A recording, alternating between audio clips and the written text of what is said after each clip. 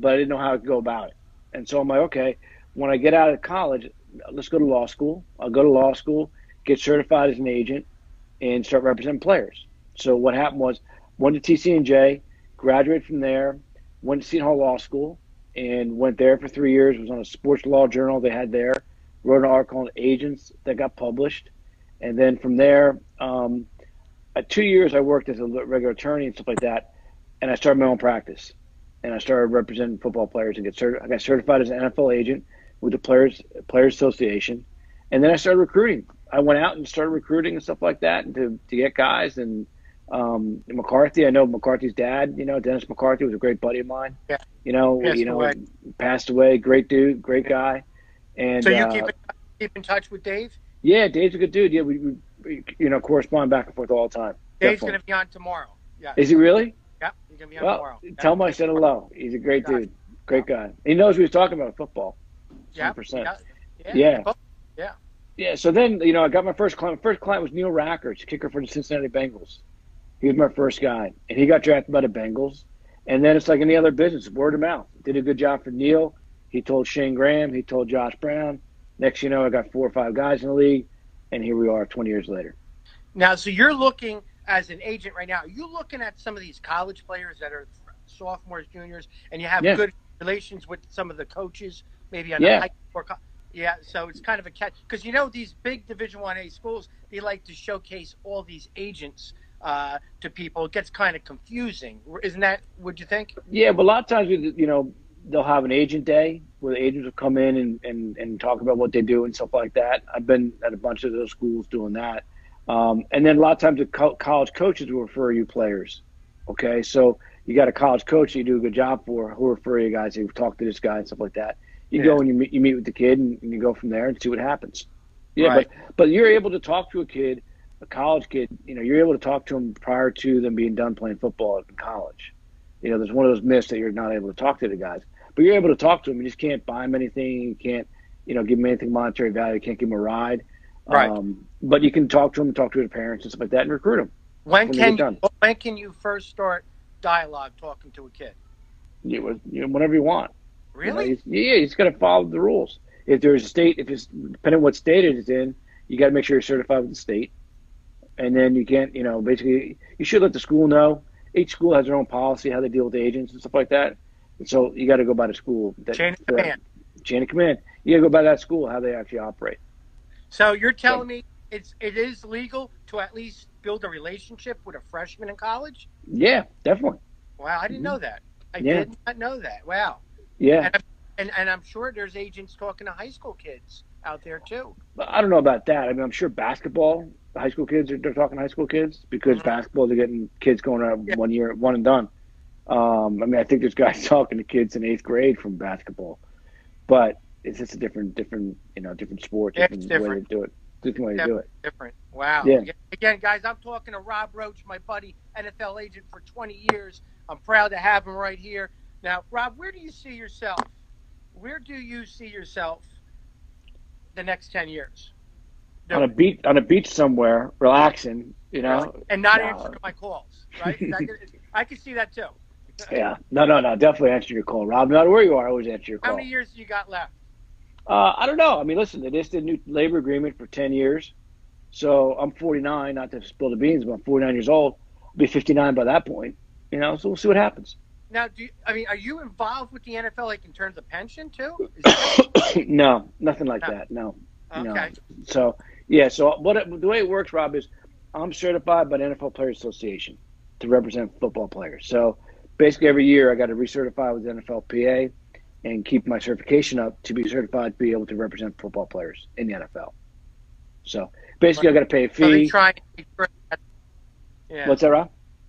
And why do they do that? To make sure that they got the right type of guys going around those kids. Yeah, they got to want to make sure their their constituency, that you know, the, the NFL Players Association wants to make sure those players are being represented properly. So they want to make sure that the agents know what they're talking about, able to do an effective, good job for the players and stuff like that. Now it's got to be tough on the other side. You're probably sitting with parents that kids think they're higher than who they are down the road. Like in other words, the guy might think he's a fourth or fifth round draft pick, and he realistically may be looking at just a signee as a free agent for camps. Is that tough speaking to a kid um, after the draft goes by and say, you know, and let's regroup and, and let's get back on on a, on a different path and get to the goal you want to get to? Well, I'll tell you, the key thing is my job is under promise and over deliver. So you want to under promise and over deliver for what you, you meet with the client. So when I meet with the client, I'm not trying to build up his expectations because if you do that and it doesn't work out, then you got a problem. Mm-hmm. So try to be realistic with the player.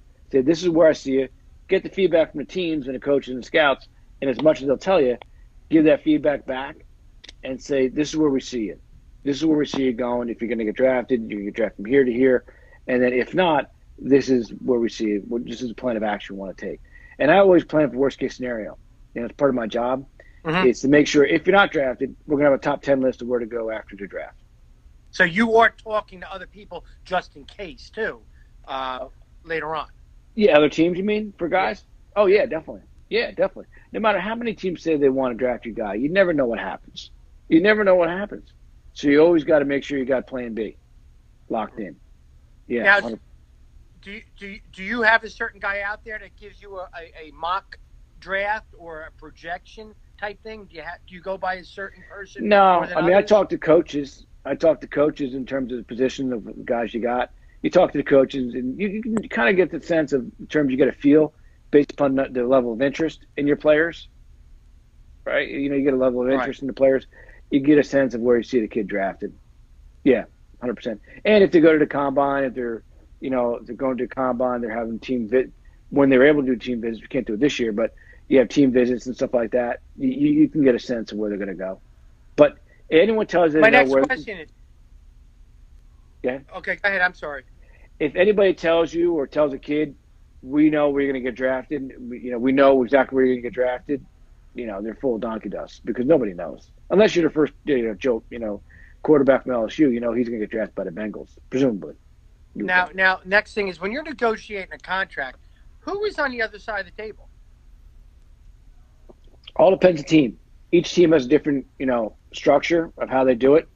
Um, most teams have a contract negotiator on their staff, and that's primarily who you're dealing with. You're dealing with a contract negotiator. You're not with well, a lot, of, a lot of times you'll, you'll talk to the GM, but the actual negotiation is done with the contract negotiator. And is it face to face or is it a fax? All depends. A lot of times we'll do it via the phone, but if you have other events, you have a scouting combine or something like that, you're going to meet at, you go talk to them about the deal with the scouting combine. Um, owners meetings always good too. You talk to guys there. Um, All Star games, Senior Bowl, talk to guys there down in Mobile, Alabama. Mm-hmm. But yeah, it's most of most of the time you can do it over the phone and do it via email and stuff like that. It's easy nowadays since we're so savvy with technology. It's, it's a lot easier. You go you go to the combines every year. Yeah, every year down in February, down in Indianapolis. And is that, is that how you kind of get a hold of those clients, or maybe they already they don't have? A, nah, by the time the combine rolls around, Rob, they're all signed up with agents. They're all locked really? up. Yeah, so so you, the com- you just network. Yeah, I have to go to. I have to go to a seminar there every year for agents. NFL PA has a seminar every there year for that. But you go there for that, and, and plus you got all the play personnel directors and stuff like that there at that time. So if you got free agents coming up in free agency, you're able to actually talk to the guys, you know, about your guys and try to work out some deals at that point. Yeah. A couple guys came a little bit later. Again, this is Rob Roche, NFL agent for 20 years, my buddy in college uh, that we've been talking about his side of the football side of aspect of what he does. Uh, in, in difference from what I do with the football with the high school kids. But are my kids that I coach, they look up to that scenario of an agent like yourself helping them get to that next level, of course, which is the league. With that, and every time my kids go to college, they, um, you know, they they they talk about I want to go to the league and that, and then reality sets in that it's so league. But there are other uh, ways to you can get paid with football playing. There's a CFL, there's arena. Yep. Uh, there was the XFL. XFL a couple weeks ago. Too? I had one player in the XFL. Yeah, Matt McCrane. He was on the Guardians, kicker for the uh, Guardians. He's real good. Ten for ten. Did really well. And I, I tell you what, I love watching XFL. It was great. I watched it every weekend. I, I thought mean, he was really going to do well. As an agent, you got to like when those other things open up, right? Yeah, yeah. I was hoping that they're actually going to start signing guys to bigger deals. Right. Right. Yeah, but I think they were a victim of the pandemic. I'll tell you, um, you know, hopefully we, we clear this pandemic out and we get back to normal way. I think that football in the NFL is going to slide over. Um, well, I know I'm hearing college football might slide to the spring. Um, yeah, but we don't, heard that. We don't, we don't know. It's But I will tell you, Rob. I will tell you. I want to tell you. You know, with the players I represent and the guys I recruit and stuff like that to come out of college, it's always key and important for me to get to know who their high school coach was, because the high school coaches for a lot of these guys is such a sphere of influence and a center of influence for these guys right. that you you you, got, you play a big part. You know, you yourself and other high school coaches play a big part in the development of those kids, and they trust you guys. Listen, Rob, another talk could be phone calls I get once you get to camp, because I. I'm not going to say who, but I've had head D, D1A football coaches call me up with their coordinators saying, talk to, they're homesick. They're not a big dog now Right. at our, you know, place. Can you give him a pep talk? And this might be 10 at night. I got to get up and call up a certain guy, and all of a sudden, everything's great. You know, when we went to college Yeah. too, we, you know, we always had doubts, and those kids are no different. When they leave and Right. go, they have it so good at Barnegat, and when they go somewhere else, it's so funny. Kids will always say, "Hey, coach, this isn't Barnegat." No crap. You're at so and so, so and so. You get a full scholarship. Go have fun Yeah. and all that. That's the great thing Right. of my job is to have them move to. You know, we always say you want to be comfortable with being uncomfortable in life. Right. You know, Right, yeah. and that goes when that could be when you get older. You got to speak in front of groups of people. You got to do something like this live where people can, you know, mock us, which we are not. We are we're having a darn good interview right now. I'll tell you right Hopefully now. not. Good. Hopefully not. But I'm just saying, you want to make sure that we have our kids and our coaches feeling comfortable with being uncomfortable. That is something, hopefully, that they can take to their next profession when they go there too, because everything's not going to be easy, and especially when you're you're in a competitive world. You're in a competitive world. People